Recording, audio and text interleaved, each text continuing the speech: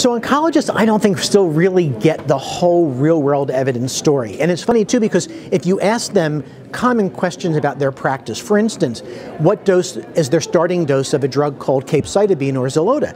They give you a dose that's not the package insert label dose. They give you a dose that's lower. Why do they do that?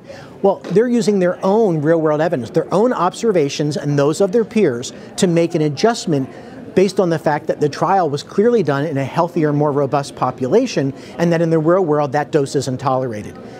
Schedule design. Maybe a drug like Sutent was originally approved three weeks on, one week off. But doctors quickly realized that that third week was almost impossible to give, so they modified instead of four weeks on, two weeks off, two weeks on, one week off.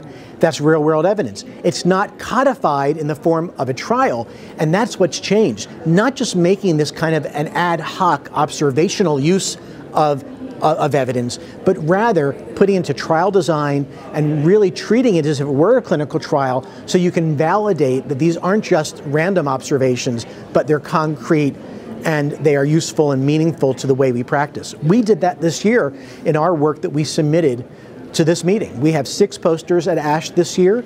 Some of those are in CAR T, three in CAR T. Two of those looked at the FAERS database. This is the FDA's Adverse Event Reporting Database, which is online available to all. But what you can do is go through there and really understand are there age differences in the toxicities like cytokine release syndrome or neurotoxicity?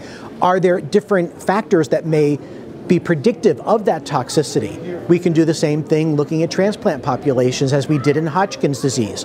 We can do real world evidence in the form of doing what used to be called market research, in which we ask enough physicians in order to understand their patterns of care and preferences so we can start to understand why certain things become adopted and certain things don't. And that's the kind of work we brought to the table this year that ASH clearly thought was useful because they not only accepted them in the form of abstracts, but they elevated them to posters.